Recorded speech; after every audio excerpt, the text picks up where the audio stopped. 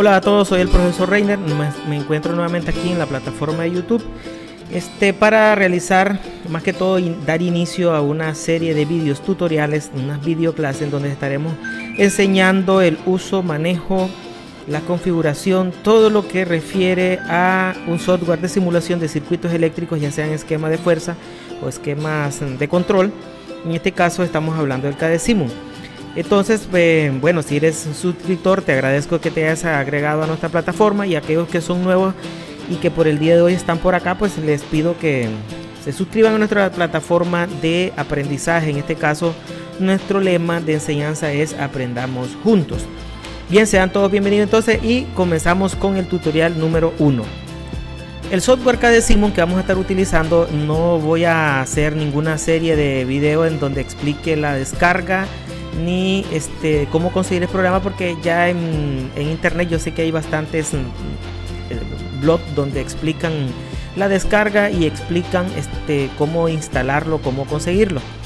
Entonces yo no voy a explicar eso. Sin embargo, recomiendo como siempre, lo primero que tenemos que hacer es tener el programa y un manual, el manual de instrucciones para el uso de este software. Siempre es bueno tenerlo a mano para poder eh, entrar y ver alguna, alguna especie de, indicación o recomendación que, nos da los diseñadores de este software de simulación. Entonces eh, el programa les va a pedir una clave, en este caso es una clave pequeña, eh, es genérica, es, un, de hecho es un software bastante fácil de conseguir, no es nada difícil, por ello yo no voy a explicar la, la manera en cómo se consigue el programa, pero yo sé que es un programa fácil de conseguir. Entonces ahí tenemos la contraseña y bueno, nos vamos a entrar al, programa. Y bueno, vamos a encontrar esta plataforma que tenemos aquí. Entonces escriban la contraseña por ahí. Es, siempre es bueno aprendérselo de memoria. Para generalidades vamos a entender de que el KDSIMU es un programa de edición y simulación de esquemas eh, automáticos eléctricos o de automatismo eléctrico. Este programa ha sido creado por un, me imagino yo que es ingeniero, eh, JL Villanueva Montoto y puede descargarse de forma gratuita en la, web. De hecho, si ustedes entran al blog de este ingeniero, él mediante un eh, correo, ¿verdad? Él le envía un link de descarga en donde también pues le, le envía el archivo eh, para después de comprimirlo de una carpeta este, y sacarlo, extraerlo, mm, vamos a decir así, instalarlo y posteriormente utilizarlo. Los archivos se guardan por defecto con una extensión CAT, por lo tanto debemos eh, siempre ejecutar primero el programa para después abrir el archivo. No querramos hacerlo inverso porque no va a funcionar. O sea, primero tenemos que abrir el programa y darle a abrir. Entonces cuando nosotros ya lo hemos instalado, vamos a encontrar esta interfaz de, del programa, en donde nosotros vamos a encontrar la barra de tareas que nosotros o, iconos que nosotros ya conocemos, archivo, edición, dibujar, modo, ver, barras, ventana, y, e, etc, etc. Después aparecen los iconos. Bueno, vamos a comenzar explicando cada uno de ellos. Bueno, no los vamos a explicar de hecho todos, solo vamos a explicar los que considero yo, ¿verdad? Vamos a estar utilizando con mayor frecuencia y aquellos que requieren ser necesarios para una configuración. Porque, por ejemplo, si yo me voy a la opción archivo, despliega un menú, aquí dice un nuevo documento pero también aparece en forma de icono acá. Entonces, de las dos maneras nosotros podemos abrir un archivo nuevo, pero hay parámetros o algunas situaciones que ya considero que el que esté viendo este tutorial ya maneja que yo no las voy a explicar. Pero entonces, entre lo más importante, bueno, aquí tenemos abrir un nuevo archivo, abrir un archivo existente, cerrar uno, guardar, guardar como, importar imagen, eh, una presentación preliminar y también podemos configurar la impresora. Aquí nosotros podemos entrar y bueno, ya todos saben cómo configurar la impresora a la que tenemos conectado, sus propiedades y lo vamos a imprimir eh, el, tamaño del papel, la orientación del papel. Bueno, aquí nosotros es para configurar la, la, impresora, ya sea en red también lo podemos hacer acá. Entonces, si nos venimos nuevamente, aquí vamos a entrar a un aspecto importante que es la configuración. Esta configuración siempre he pensado que es una de las más importantes, puesto que trae varios apartados. El primero es todo este espacio que nosotros podemos observar acá, es del formato. Entonces aquí nosotros podemos elegir el formato que eh, comúnmente estemos utilizando. Entonces aquí tenemos el formato estandarizado por la ISO y por la DIN, el formato de la serie A, en este caso el, el A4. Entonces si lo ponemos acá, ya sabemos que vamos a posicionarlo el A4 pero en posición vertical. Y aquí el A4 en, en posición horizontal, que es el más, más utilizado y el más común aquí las dimensiones de los formatos.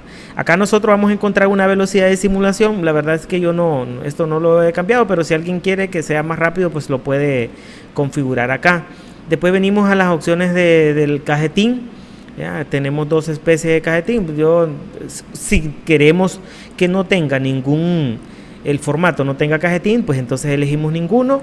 O si no, pues lo dejamos acá en, en, el cajetín 1 que es el que viene por defecto. Entonces aquí nosotros venimos a esto otra también, este otro apartado en donde vamos a encontrar eh, una orientación referenciada que en este caso se refiere a la posición vertical y horizontal. Generalmente es más cómodo trabajarlo en horizontal, por eso yo lo dejo así. Y pues no se ve, si alguien se siente cómodo lo puede cambiar. Aquí eh, por defecto aparecen dos... Mm, dos eh, opciones de visualización, dos chequeados nada más de estos eh, cinco aspectos. Visualizar referenciados, visualizar conexiones de símbolos. Si nosotros queremos eh, visualizar también conexiones de, símbolos, si queremos visualizar el número de cable, las conexiones automáticas, este, que es de ayuda para el, que esté diseñando, y las líneas auxiliares del cursor. Entonces, este es uno de que yo recomiendo que lo, dejemos ahí, ¿verdad? Para, para que nos esté ayudando.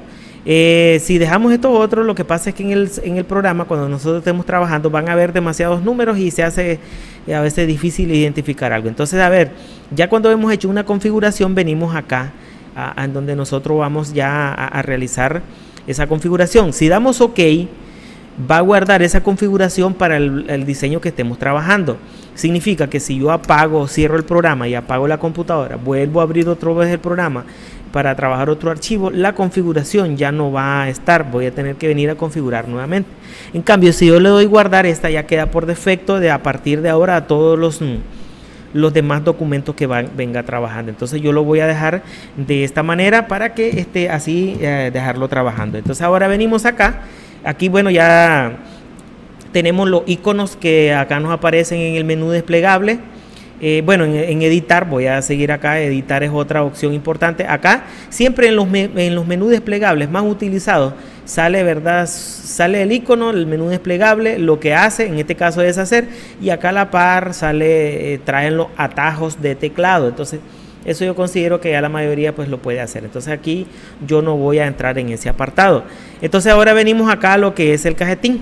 En el caso del cajetín, acá eh, vamos a poner, vamos a decir así, lo que nosotros consideramos eh, los datos. Todos sabemos que el cajetín es la parte del formato en donde se va a anotar los datos del de el dibujo y los datos de la persona que está dibujando.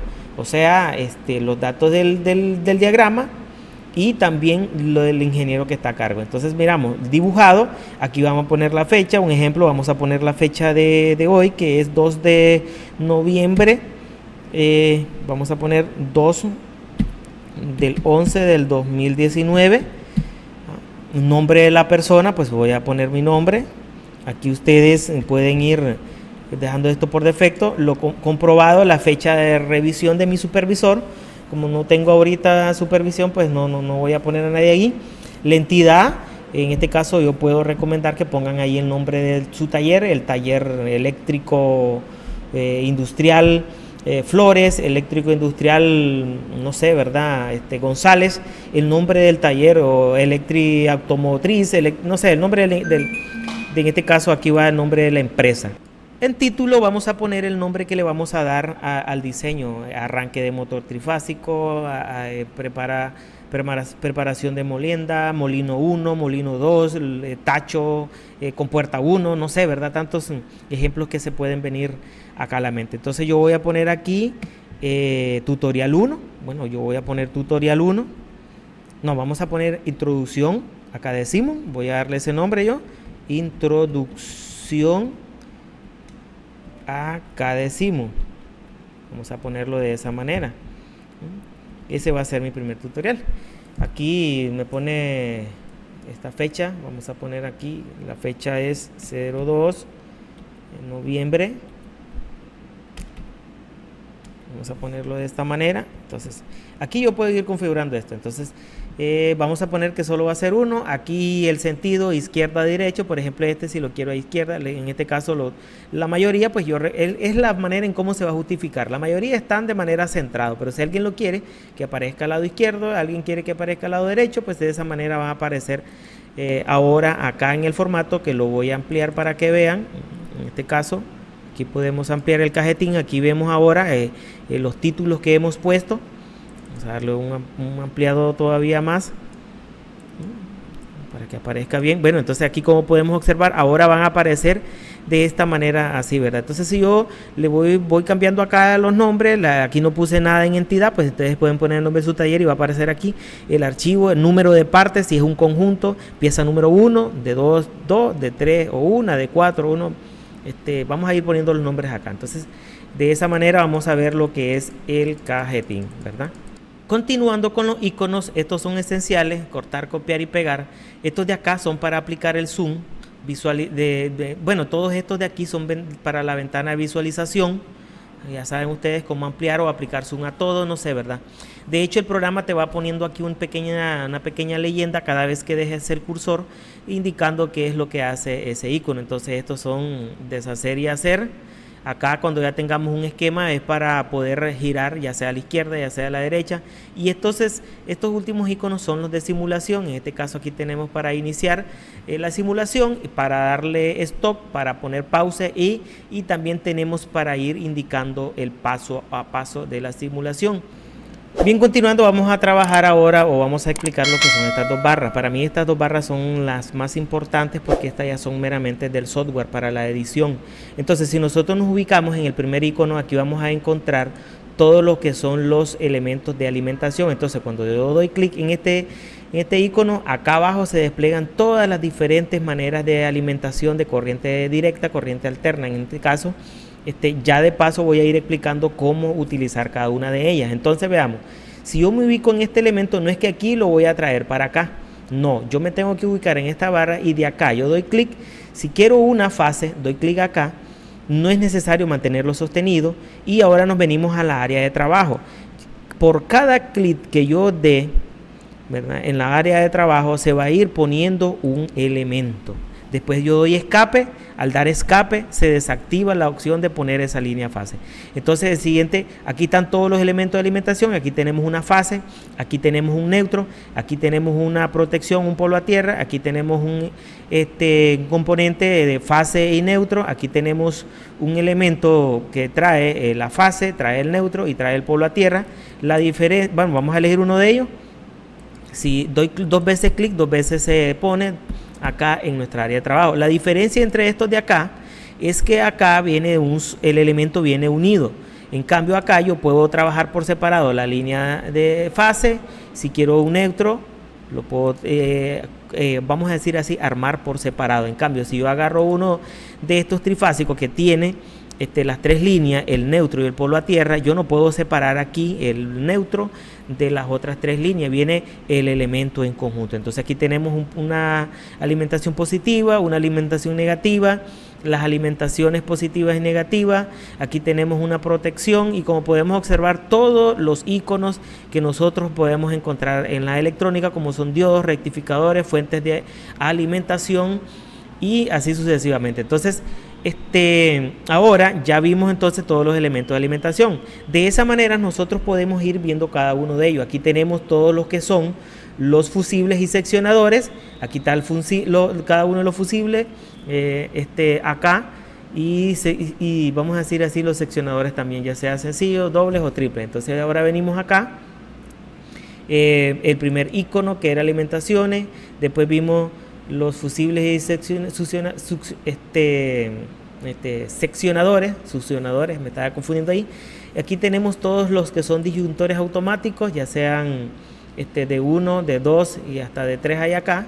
Después venimos este, a todos los que son contactos, vamos a decir asociados, contactor de una fase, de doble, triple y así sucesivamente. Aquí tenemos ya los por aquí interruptores, interruptor sencillo, doble y así sucesivamente. Después venimos acá a los motores, aquí tenemos cada uno, si yo doy clic aquí arriba, se pone acá abajo. Entonces cuando yo selecciono uno de ellos, Miren, acá le vengo, cada vez que yo doy clic se, se ubica uno de ellos. Entonces ahora venimos acá, podemos ubicar este otro, este es otro motor. Entonces yo puedo ir eligiendo el elemento que quiera y lo vengo poniendo acá abajo. Entonces este es un motor trifásico, motor trifásico en Y, motor, este se, este que está acá es un motor monofásico, este otro es un monofásico. Entonces el que yo requiera ocupar, voy a venir aquí y lo voy a, poner acá en, en, en la área de trabajo. Entonces veamos,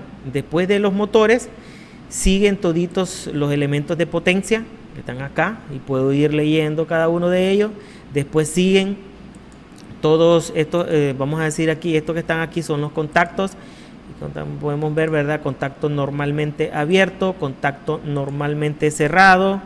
Eh, este trae un contacto abierto y un contacto que sea cerrado. Este es un, le dice un interruptor o contacto de conmutación o que tiene uno en común. Después vienen los pulsadores, los contactos asociados, perdón. Este es un contacto normalmente abierto, un contacto normalmente cerrado, cada uno con su designación, 11, 12, ya saben que los que terminan 1 y 2 son cerrados, 3 y 4 son abiertos. Aquí tenemos uno de conexión que trae un normalmente cerrado y un normalmente abierto. En fin, aquí tenemos los contactos que son para timer eh, a desconexión, a conexión, los que son eh, dobles, en este caso con un cerrado y un abierto. En fin, nosotros podemos venir aquí explorando el software, explorando el programa, siempre antes de, comenzar a utilizarlo. Entonces aquí tenemos todos los detectores de posición, o sea, estos son sensores y finales de carrera, toditos estos que están acá. Eh, puedo ir eligiendo cada uno de ellos. después tenemos todos los que son eh, elementos de señalización. Aquí están los sensores, me voy a las bobinas, bobinas ya sean relés normales, eh, biestables, interruptores, conmutados de tiempo, todos estos son los de tiempo, las señalizaciones que pueden ser este, piloto de señalización, lámpara termitente, este caso los timbres, sirenas o zumbadores, aquí está la sirena y bocina, todos los que son de señalización. Entonces los relés electrónicos, aquí tenemos todos los que son de compuertas lógicas, ¿verdad? Entonces, en fin, esta última parte, aquí tenemos entradas y salidas que son señales para eh, controlar a PLC, entradas, salidas, y aquí tenemos, de hecho podemos simular, eh, nos permite simular un pequeño módulo lógico de PLC. En este caso se puede, de hecho vamos a ver si hacemos algunos ejemplos. Con PLC S7200 vamos a ver si lo podemos hacer acá y aplicarlo real, porque de hecho tenemos los PLC. Después nos venimos acá, eh, quedamos en esto. Aquí tenemos toda la parte, el software nos trae para poder simular algunos eh, elementos eh, neumáticos. Entonces tenemos un cilindro de simple efecto, cilindros de doble efecto, eh, eligiendo uno de ellos, pues lo venimos a poner acá. Como podemos ver, ya tengo bastante llena la, la pizarra. Yo puedo ir eligiendo cada uno de los elementos, bueno, como queramos, ¿verdad? Y, y podemos ir borrando. De hecho, elegimos, vamos a ya, elegimos el elemento y le damos borrar. Elegimos el elemento y borramos. De esa manera es como se borra acá en el programa, ¿verdad? Elegimos el elemento y borramos. En algunos teclados aparece con suprimir, entonces le damos en suprimir. Entonces, vamos a ver acá. Bueno, ahí estamos entrando a sus configuraciones, que eso lo voy a explicar después. Entonces venimos, elegimos un elemento de simple efecto, un cilindro de simple efecto, como podemos observar. Ahí, ¿verdad? El componente ya viene casi completo con su sus válvulas, sus limitadoras de presión, limitadoras de caudal. Como podemos ver aquí está el cilindro, el cilindro doble efecto con las reguladoras de caudal regulado un 50% y lógicamente que tenemos el selenoide A más y el selenoide A menos por los movimientos del émbolo, salidas, escape aire y el compresor. Todo esto ya viene prácticamente armado. Este es un cilindro sin vástago este de acá es un, vamos a decir así, un cilindro sin vástago, pero es de control electromagnético. En fin, aquí tenemos motores neumáticos. En fin, el programa te permite, eh, por decirlo así, simular bastantes cosas interesantes. Entonces, por el día de hoy, por el día de hoy, bueno, no he terminado todavía, me disculpan porque me hace falta. Acá estamos en la parte neumática y aquí tenemos, cuando vayamos a eh, vamos a decir así, a unir, tenemos los cables. Aquí todo, todo lo que está aquí son cables y conexiones, que aparece de último, cable para una fase. Eh, de hecho, el software aparece el color eh, café para cable de fase, el azul es neutro, el verde es un cable punteado y color verde y así sucesivamente eh, este de acá este icono de acá es en las conexiones para cuando vayamos a tirar tres líneas a la vez podemos ver podemos tirar de uno en uno como es en este caso o bien lo podemos hacer de tres en tres eso va a depender de cómo lo querramos este, a nosotros verdad eso depende de nosotros entonces Vamos a ver, podemos ir de uno en uno, que más me hace falta explicar. Todos estos iconos, ¿verdad? Yo creo que ya más o menos ustedes tendrán una idea de cómo este, hacer eh, eh, el uso. La idea es eh, que el día de hoy pues entremos, hagamos una introducción, que es lo que estamos haciendo. Bien, yo creo que por el día de hoy la introducción al software, el uso del software, la configuración, el uso de los iconos eh, ha finalizado. Para el próximo vamos a iniciar con los primeros ejercicios, los primeros ejemplos de aplicación del software Cadecimu para poder, vamos a decir así, al terminar de ver todos estos tutoriales, poder manejar eh, la configuración, poder hacer esquemas de control, esquemas de mando. Sin más que decir, pues me despido a todos ustedes, soy el profesor Reiner y como siempre le deseo lo mejor, que se sumen a nuestra plataforma de Aprendamos Juntos y sigamos creciendo en la comunidad. Muchísimas gracias, que pasen un buen día a todos.